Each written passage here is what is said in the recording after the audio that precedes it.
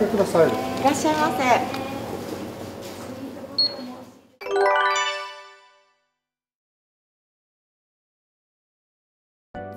まず何事も挨拶から始まります。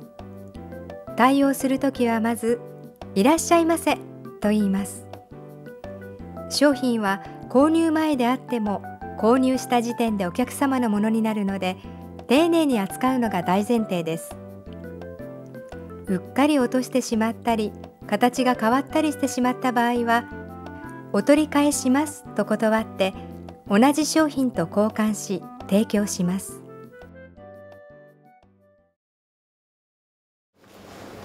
これください。はいいらっしゃいませ。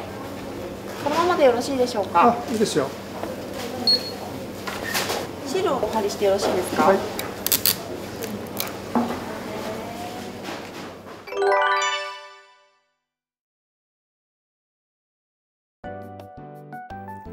商品を購入した場合それに付属するサービスを的確に判断して提供します。箸以外にもストローやスプーンおしぼりなどがあります。袋に入れるほどでもない少量の商品にはお客様の了解を得てから購入前の商品と区別するため店のロゴ入りシールを目立つところに貼ります。